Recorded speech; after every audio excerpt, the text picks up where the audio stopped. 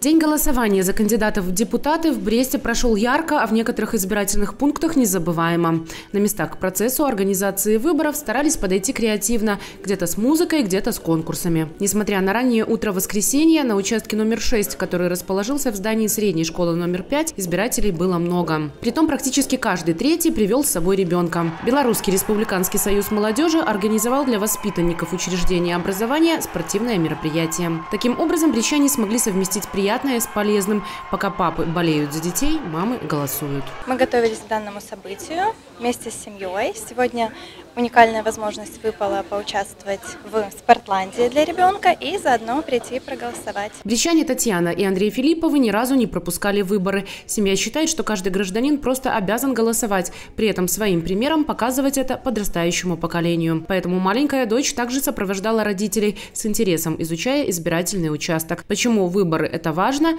Взрослые ответ на этот вопрос знают, а малышей учат. Гражданский долг. Всегда голосуем всей семьей.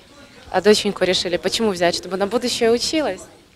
Ну, она всегда со мной, без меня просто не может, поэтому везде мы с ней. Часто ли участвуете? Все время. Почему?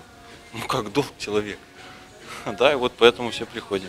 Стараемся каждый раз посещать. К важнейшему политическому событию года брещане отнеслись ответственно. На момент 11 утра на избирательном участке номер 6 уже проголосовало более 30%.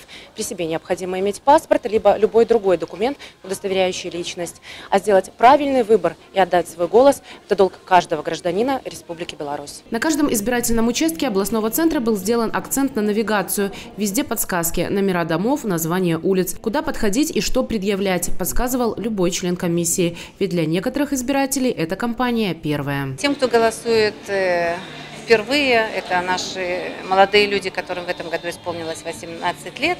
Мы им даже будем дарить маленькие памятные подарки, чтобы этот день остался для них незабываемым и остался какой-то след и память о первом участии в избирательной кампании. На избирательном участке номер 15 была создана безбарьерная среда для инвалидов и подготовлены бюллетени для слабовидящих. Ведь эта категория людей хоть и ограничена в своих возможностях, но безгранична в плане желания проголосовать. На участке номер 107 по адресу улицы Суворова, 104 многолюдно было с самого утра. Леонид Арибжанов решил начать свой день с приятного и ответственного события. Мужчина ни разу не пропускал выборы. В этот раз также не посмел нарушить традицию крайней мере, еще ни разу никогда не пропускал.